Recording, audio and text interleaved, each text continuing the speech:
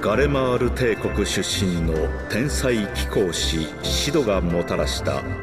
飛空艇技術は人々を空へといざなった。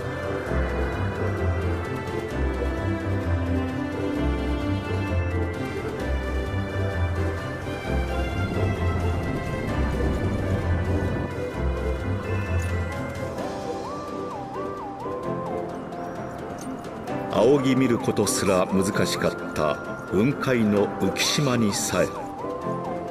今やイシュガルドの騎兵たちが降り立ち活動している。天よりドラゴン族の動きを見張るための監視所がアバラシア雲海に築かれつつあったのである。